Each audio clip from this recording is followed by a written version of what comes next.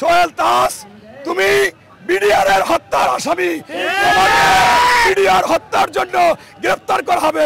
তুমি এই ধরনের এই ধরনের কোনো কিছু করলে হবে না। এবং তুমি এই নিরপেক্ষ কথা বলা দরকার নাই তোমার। তুমি যেদিন এই সমস্ত বাংলাদেশে এই গণহত্যাগুলো হয়েছে, যত খুন হয়েছে, গুম হয়েছে, তুমি কি করেছ? আমি আয়নাগর থেকে ফেরত এসেছি। তুমি সেই দিন কোথায় ছিলা?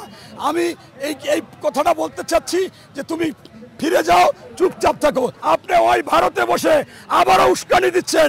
ভারতের বর্ডারে চারশো, পাঁচশো লোক নিয়ে ভারতের ভিডিও করে দেখাচ্ছে। মুসলমানরা বাংলাদেশে তাদের বাড়িঘর আগুন জ্বালিয়ে দিয়েছে সর্বহারা করেছে। আরে মানুষ কি পাগল? দেখে না?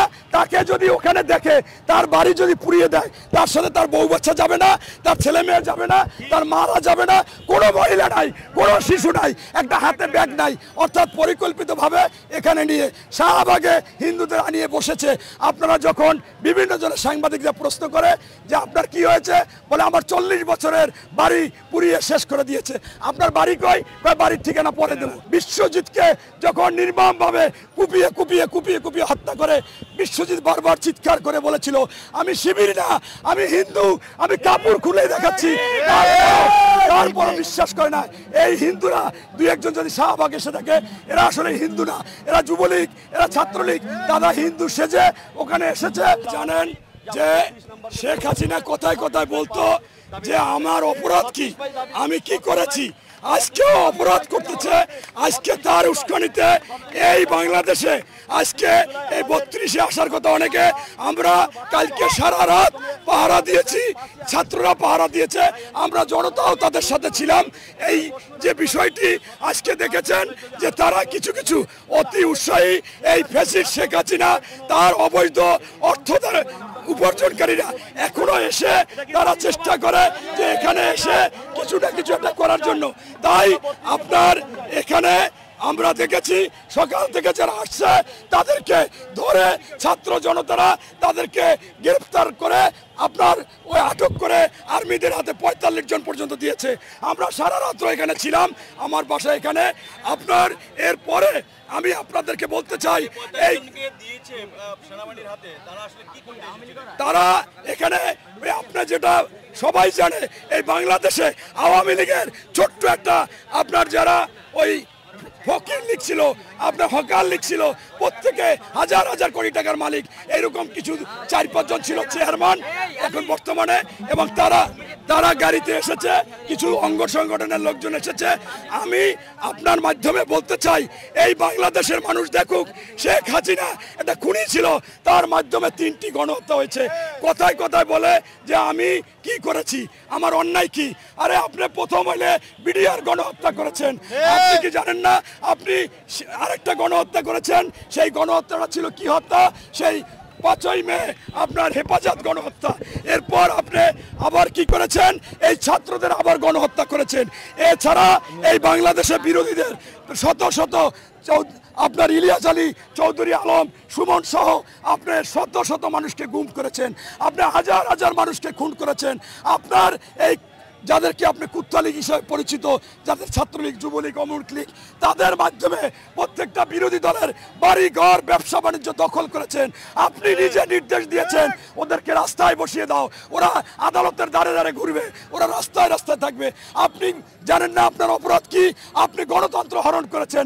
বাংলাদেশে একমাত্র সবচেয়ে চরম স্বৈরাচার চরম ফেসিস বিশ্বের সর্বশ্রেষ্ঠ স্বৈরাচার হচ্ছেন আপনি। এবং এরপরে আপনার আপনি জানেন না যে আপনি বিদেশে কি পরিমাণ অস্ত্র, অর্থ পাচার করেছেন? এই সালমানের প্রহমান এই সালমানের প্রহমানের মাধ্যমে কীভাবে অস্ত্র, অর্থ পাচার করেছে? কোনো একটা মাল আনতে লাগবে একশো কোটি টাকা। সেখানে ওই এনবিআর থেকে দেখিয়েছে দুইশো কোটি টাকা, তিনশো কোটি টাকা। দেখি ওই টাকা ওই দেশে পাচার করেছে। আপনার একুশ লক্ষ কোটি টাকা পাচার হয়েছে, সেটা সাংবাদিকরা দেখিয়ে দিয়েছে। বিভিন্ন দেশে বেগমপাড়া, এটা করেছেন। আপনার অপরাধ কি আপনি জানেন না? আপনি জনগণকে এই দীর্ঘ সতেরো বছর ভোট দিতে দেন না। আপনি যেটা যাকে বলেন, সেইটাই আপনি করতেছেন। আপনার অপরাধ বর্তমানে সবচেয়ে চরম অপরাধ। আপনি এত কিছু করার পর আপনার ফাঁসি হলে কয়েক দফা ফাঁসি হবে একশোবার ফাঁসি হবে।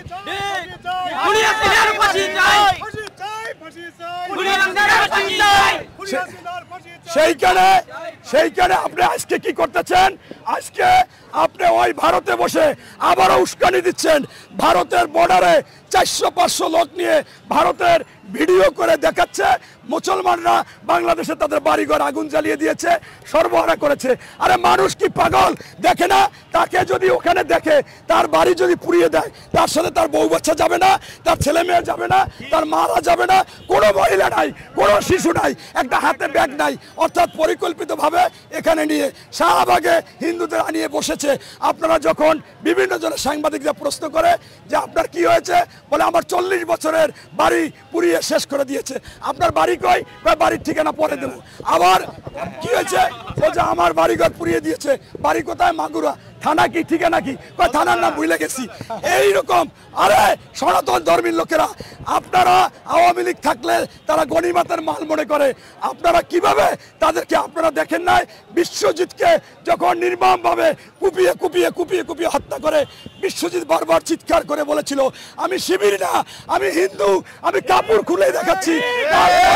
তারপরও বিশ্বাস করে না। এই হিন্দুরা দুই একজন যদি শাহবাগ এসে থাকে এরা আসলে হিন্দু না, এরা যুবলীগ, এরা ছাত্রলীগ দাদা হিন্দু সেজে ওখানে এসেছে।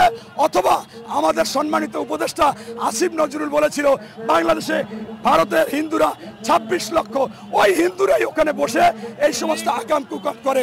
তাই আপনাদের সকলের কাছে আপনাদের এই মাধ্যমে জানাব, আপনারা সোচ্চার হন, প্রত্যেকটা জায়গা থেকে কোন রকম হিন্দুরা যাতে সমস্যায় না পড়ে, এই আওয়ামী লীগের অগণিত টাকা, অবৈধ টাকা, সেই টাকা দিয়ে বিভিন্ন জায়গায় অরাজকতা সৃষ্টি করে।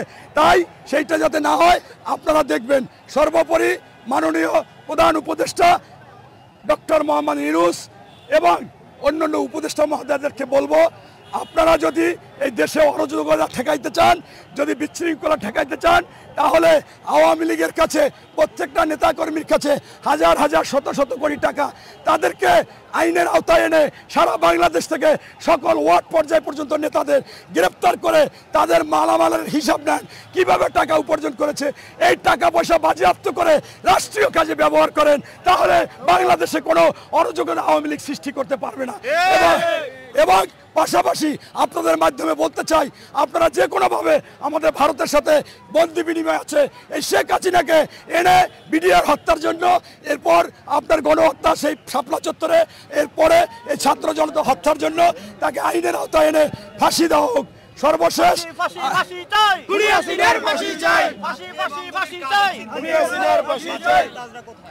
আজকে সর্বশেষ আমি বলতে চাই সোহেল দাস তুমি বিডিআর এর হত্যার আসামি।